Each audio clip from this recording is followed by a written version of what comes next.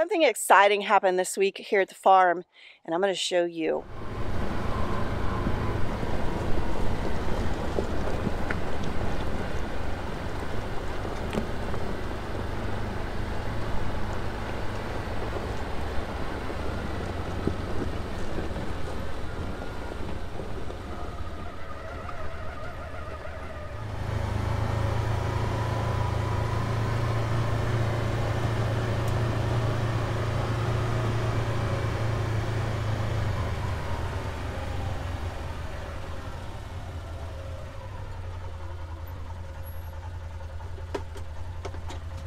Hey, good morning. Um, I'm down here feeding the calves. Actually, Noelle is, she's four months old, so I'm working on weaning her, and the last two days have been a bit rough.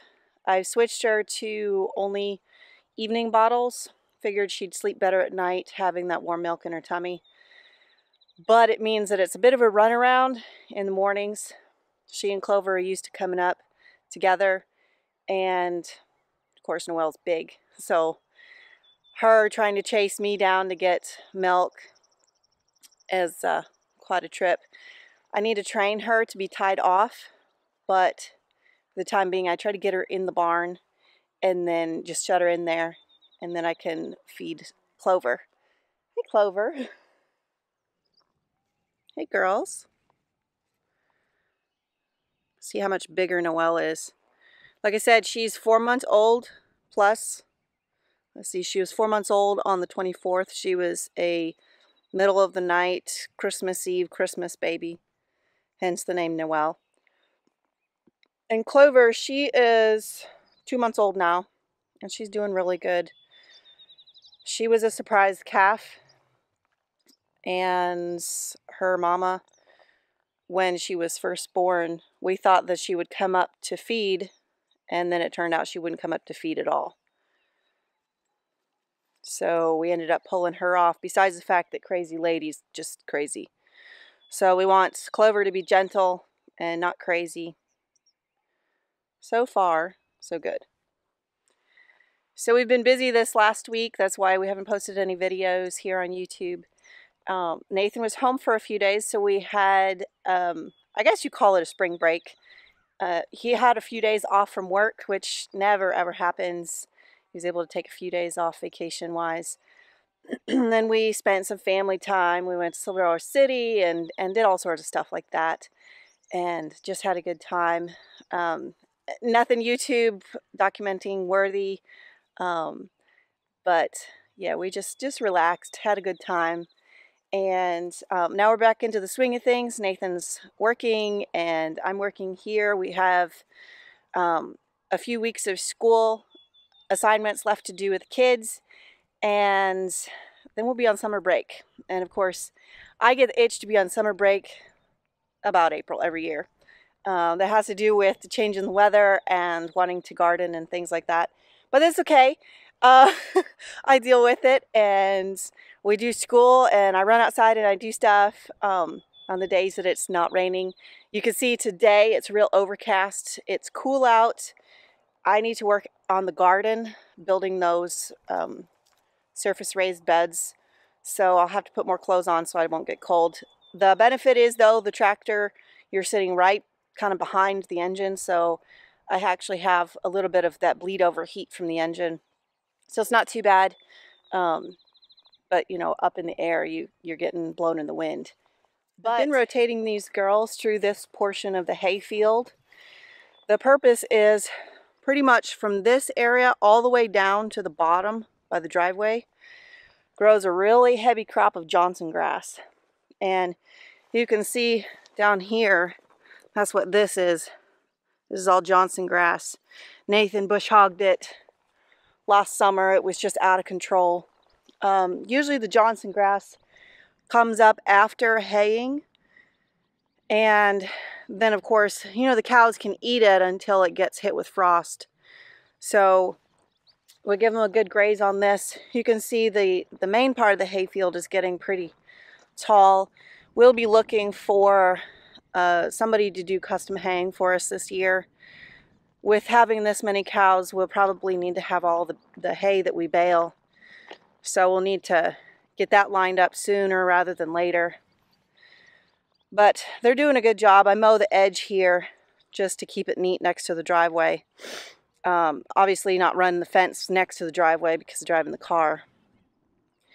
But then when I move them, so this was all chunky, um, they, they do a pretty good job of eating somewhat evenly. You can see this is what this looks like.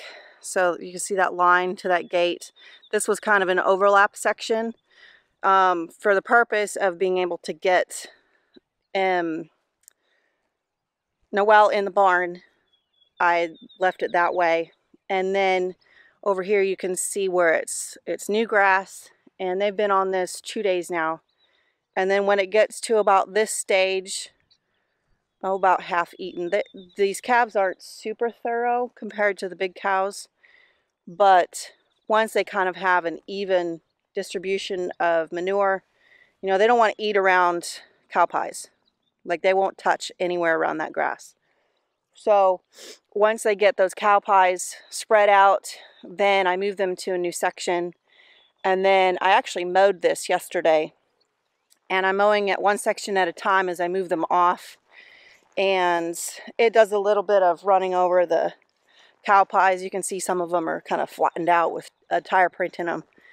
Um, I need to get a drag to drag through the field, but down here you can see where they have previously been. This was mowed just like the upper area, and you can see that it has already grown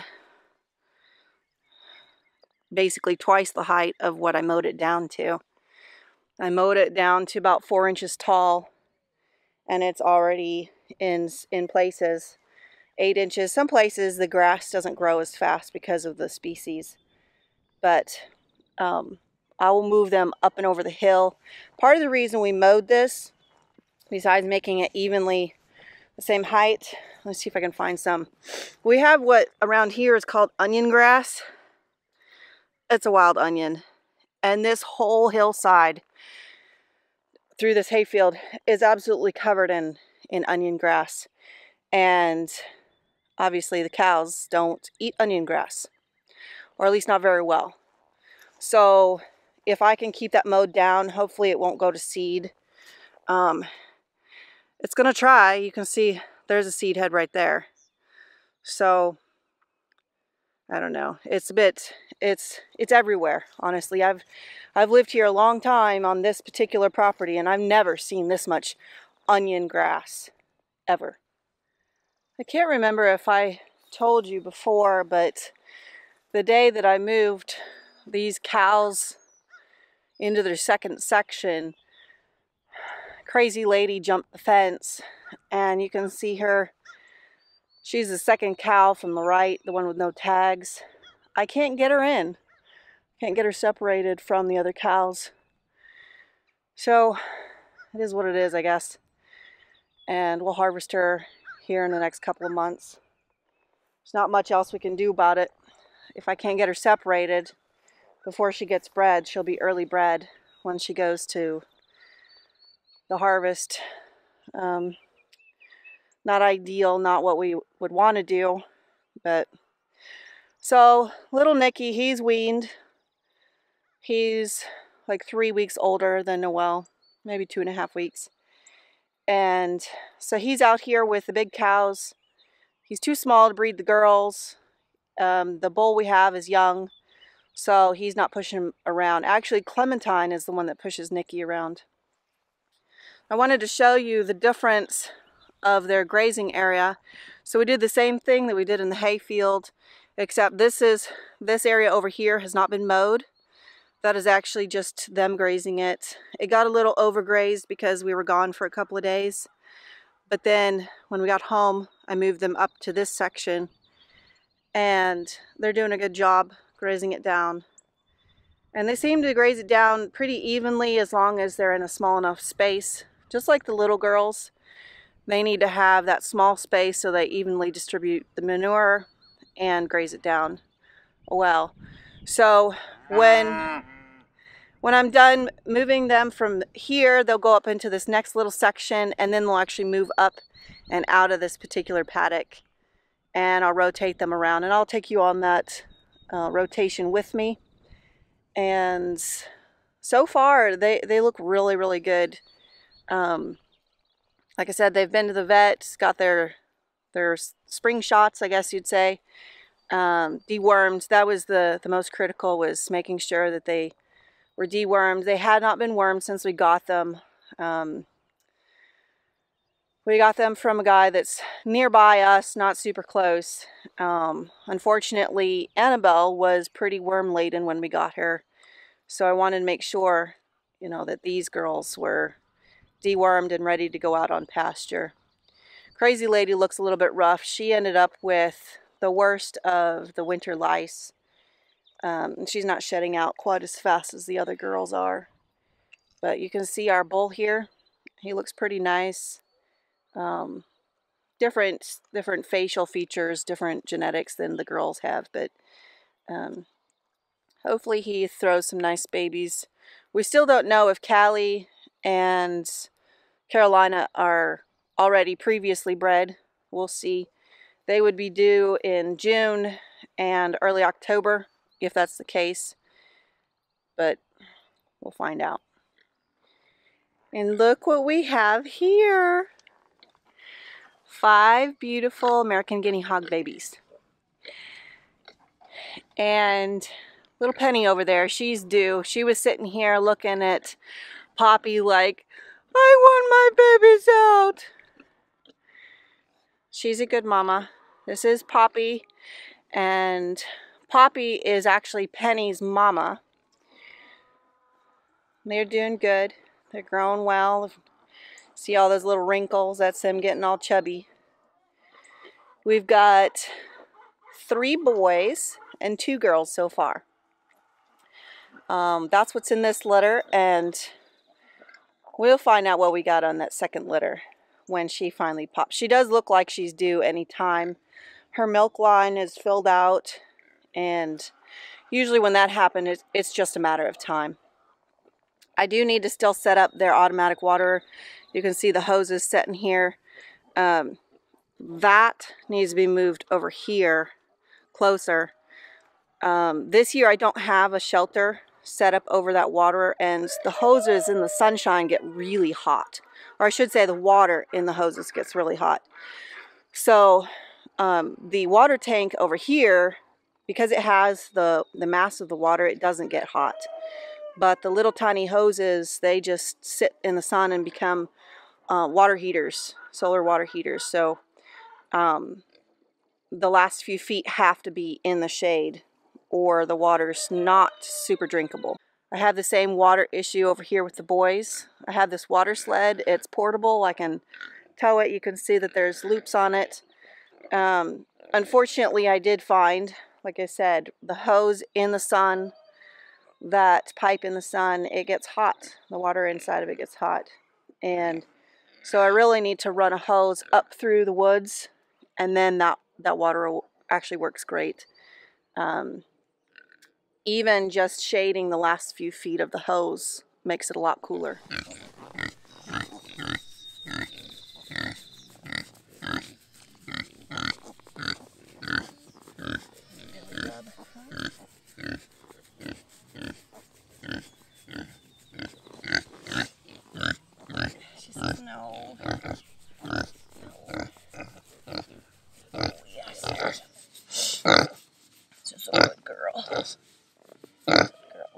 feel the right there. The little baby. And the baby right there. babies right there. Lots of babies in there, huh? Lots of babies in there. Lots of babies. There's a baby right there. That's amazing. A lot of times you can't feel the babies, but she's sure full of them. We'll see. Her sister had eight babies last year. Um, she did well uh, feeding them. Um, uh, unfortunately, uh, um, her sister ended up with like weak ankles, and um, so we chose not to keep her as a breeder. and um, just is what it is.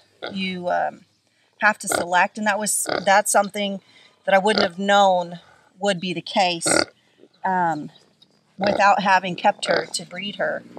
So we didn't keep her, any of her babies or her. She's actually over there waiting to go to freezer camp. Um, you can see how big pregnant she is. Let's see. She's miserable. But this is what I was talking about. You can see that her milk line is filling up. She doesn't have any milk yet, but um, soon. All these girls love belly rubs. Don't you, Penny? It's like, get these things out of me. Thanks for hanging out with me. Hopefully next time I will have more of the garden built. We're kind of crunch time now. Um, technically, Mother's Day is when we can plant. So we're kind of in the home stretch and I need to get all of these garden beds built. Uh, my baby plants are getting bigger. Um, definitely started them a little bit late, but that's okay. I'm not ready either.